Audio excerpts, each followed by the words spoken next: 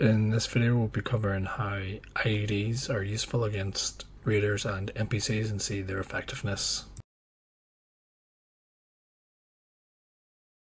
To create one IED trap you need a pipe bomb, one plank of wood and one string. Now that we've got some traps set up, let's see how effective they are against NPCs with armor. Because this is a friendly NPC camp, we will just trigger them to attack me.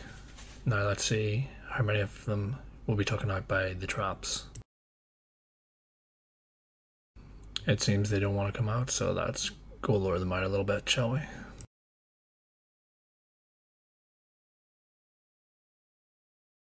It seems that they want to stay in their um, defensive pillbox and concrete watchtower. Up oh, here comes Dale. Let's see if we can lure them out. Looks like they've launched two others to ambush me, and as you can see, the traps are effective against people without armor. But heavily armored people, it seems it takes two to three traps to actually kill anyone effectively. So we've learned that in order to use IED traps efficiently against NPCs and raiders, we're going to need to make sure that we have them either injured when bringing them over the traps or to actually let them go over two to three traps to actually kill them. Otherwise, IED traps are kind of useless, but they kind of look really cool when they go off low. Once I stop managing myself, we'll go over and see how many I've actually taken out and how many are still left at the camp. Seems that one is still alive over near the traps. Let's see if we can lure them over them. Oh, there's two of them. There we go. That one got taken out by another trap. So maybe the effectiveness of the trap is how close they are to the pipe bomb when it goes off. So that might be needed in consideration since all the pipe bombs are on the right hand side of the traps. It looks like this one doesn't want to set off any traps. Come on, let's see if we can lower them into the last trap. There we go. But nope, didn't kill them. And it done damage to me as well.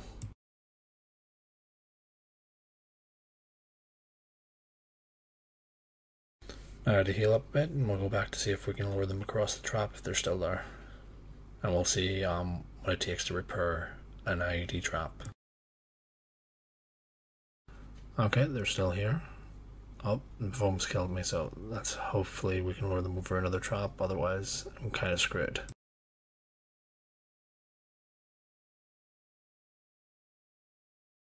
accidentally hit escape instead of F1 hopefully I can get away and heal up and then go back and insert the damage that's been done.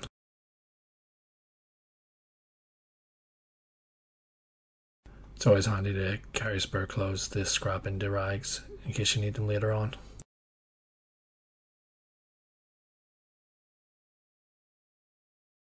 looks like the NPC trader is following me. I wonder if we can trigger them to go over the traps, or is it just against hostiles? Let's find out, shall we? Here comes a friendly NPC that's with the trader. Let's see if he'll retrigger them. And it costs one pipe bomb to reset the pipe bomb traps. That's good to know. Let's see if this NPC will actually avoid the traps or actually walk over them. Um, nope, they actually go over them. And it didn't trigger them to be hostile, so that's good. So IED traps are useful if you get them to go over two or three or they're badly injured when you go over them. Other than that, they look pretty fucking cool when they go off low. And that's the end of the video. So, thank you for watching. I hope you've learned something. And I hope you enjoy setting these explosive traps off as much as I do. Once again, thank you for watching. And I hope that if you like the content, that you will like, comment, and subscribe and let me know what you would like to see next.